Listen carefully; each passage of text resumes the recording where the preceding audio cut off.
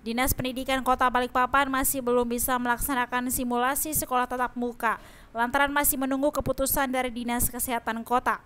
Sebelum dilakukan simulasi tersebut, Dinas Pendidikan mengajukan pemeriksaan rapid test untuk 1000 orang untuk pelajar dan tenaga pendidik.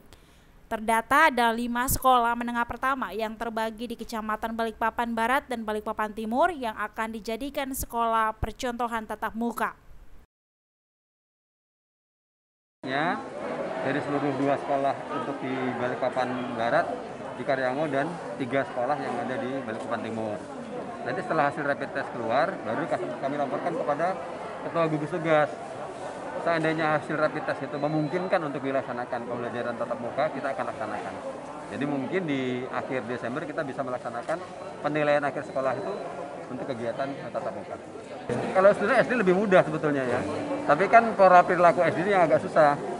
Ya kan kan biasanya kan dia senang bermain dengan teman-temannya apa segala macam. Tapi kan jumlahnya juga sangat banyak, makanya kita coba simulasinya untuk yang SMP dulu lima sekolah. Dua di Karyangau, tiga di Tripoli. Itu Sekolah yang dipilih untuk simulasi harus masuk di kelurahan zona kuning yang minim terpapar COVID-19. Untuk pelaksanaannya, jumlah pelajar dibatasi 50 persen. Iskandar Amir Dahlan, Kompas TV Balikpapan, Kalimantan Timur.